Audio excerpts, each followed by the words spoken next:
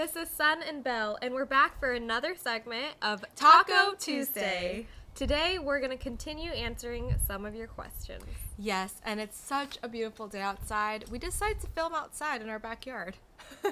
Yeah, it's a gorgeous day. We hope you're having a great, beautiful day as well. yes, and don't forget to like and subscribe to our channel. We'll be coming back with re- movie reviews. our dog is right there. Um, and also, we'll be doing more trailer reviews as well as more Talk-Oh Tuesday episodes. Awesome.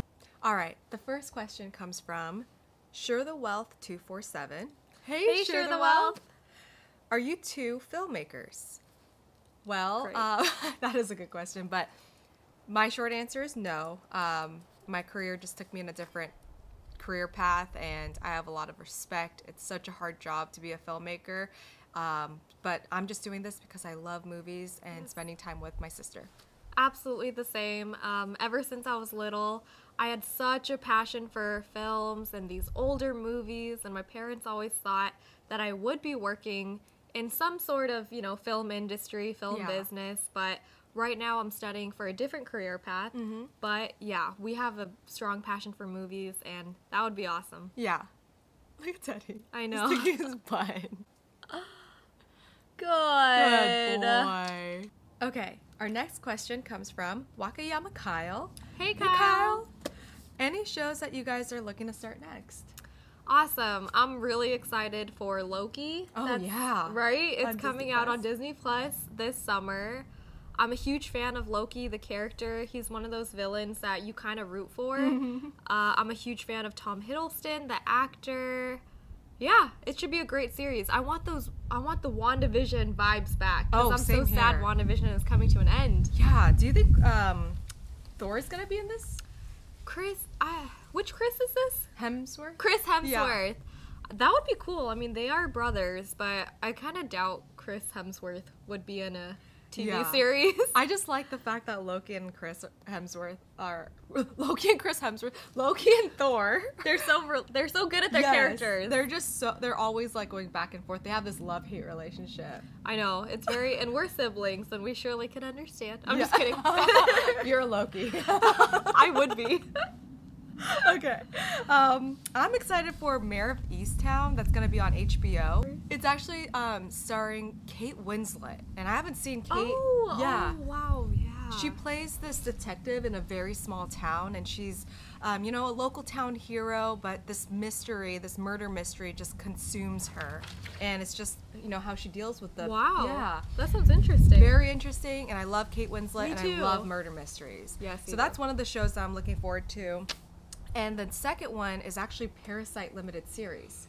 Oh, you mean the Korean Parasite? Yeah. So Bong Joon Ho is partnering up with HBO, another HBO show as well, and um, they're going to be making Parasite into a limited series show.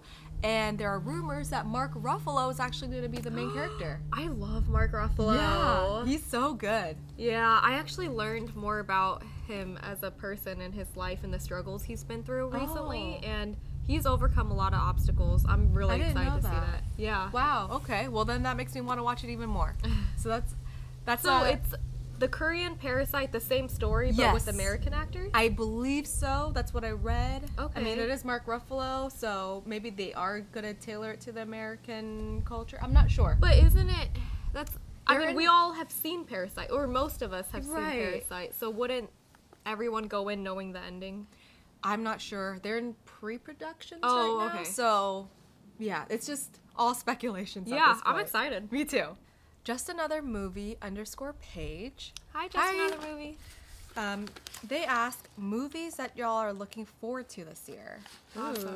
Good question. I'm really excited for No Time to Die with Daniel Craig. Of course. It's coming out this October. Um, I love this whole Daniel Craig 007 series. Same.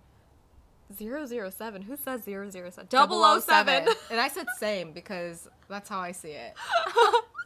Um, I think it's one of the best James Bond series of all time. Yeah. Um, yeah, so I'm stoked. I saw the trailer. It looks like it's going to be excellent. Same here. Do you know if this is going to be like the last like uh, movie of the series or Yeah, I don't know. Yeah. I hope not. I hope not too. I think because this is the fourth one. Okay. Yeah, I'm not sure. A couple other movies I'm really excited about is Cruella. We Mm-hmm. Ooh, did yeah. a trailer review on it with Emma Stone. I'm excited for her. That one looks really good. It does. Emma Stone is also another favorite actress of mine. Mm-hmm. We've been watching a lot of her SNL skits. She's so, good. funny. She's so funny. Yeah. Hey everybody. Just kidding. I broke my arm. what are what movies are you looking forward to? Um, right off the bat, Godzilla versus King Kong. oh yeah. I I really like Godzilla, but I also like King Kong. I don't know. I'm a Well, King Kong girl. I hope one of them doesn't die, but I feel like that's what it's gonna lead to, which would ruin me. But. I don't know. Okay, so that one for sure. Um, I'm really excited for two movies that stars Tom Cruise. Um, he's coming back with Top Gun Maverick, so Nice. he's, you know, it's a, I think it's been over 30 years since the first one came out. Wow. So he's returning for another Top Gun movie. And the last one is the Mission Impossible 7, which obviously we love the Mission. Impossible series. He does all his stunts stunts which are is super, you know, respectable and just shows him as an actor. So That's incredible. yeah, I'm excited for those two this year. We're also really excited for Luca. Oh, yeah. The Pixar film coming out on Disney Plus. If you haven't seen it, check out our trailer reaction to it. Oh it's Oh my our very first reaction we've ever done. So much fun. It was fun, but we're very excited for Luca. Yeah. Awesome. The Geek Collector 15. Hi Geek Collector. Hey, Geek Collector. He asks favorite 80s movie. Awesome. There's a lot. yeah, I think the 80s are a great decade for films. Yeah. couple off the top of my head include E.T. Ooh, of yes, course. of course. Spielberg at his best. Or I don't know. He has so many great movies. So many movies. um, the Alien movies. You love the alien. I do. And since that's kind of horror, I would think of A Nightmare on Elm Street. Yes. Dustin Hoffman in Rain Man. Oh my god. And Tom Cruise. 4X. Bang. the future of rock and roll. oh no. Let's see. Oh, um, Indiana Jones. Oh, that's a good one too. I'm a huge fan of Harrison Ford. Yes. That's a legendary. And while I think, do you want to list a couple of your favorites? Yeah, um I I really like the Breakfast Club. I mean, that's Yeah, a classic. it is I feel like that's the first thing I think of when I Classic think of 80s. 80s, yeah. Um Scarface with Al Pacino. Oh my gosh, I could watch that movie over and over again. That's right. I That's really like one. those movies. We went to Miami and we went to the place where he gets violently killed. Yeah. That's right. Um, I really like RoboCop. Um, that was like late '80s though, and Die Hard with Bruce Willis. Ooh, That's- excellent. Yeah, I like those four. I think there's more. I just can't. Yeah, there's definitely more, and if we could think of them, we could put it in our comments or something. Yes. But what are your favorite 80s yeah, movies? comment down below, please. Okay, I think we have time for one more. Meggers five eight eight. Hey Meggers. Hey, Meggers, She asks, "Will you be reviewing any K dramas?" what do you think? I love K dramas. It's like a You guilty do. pleasure.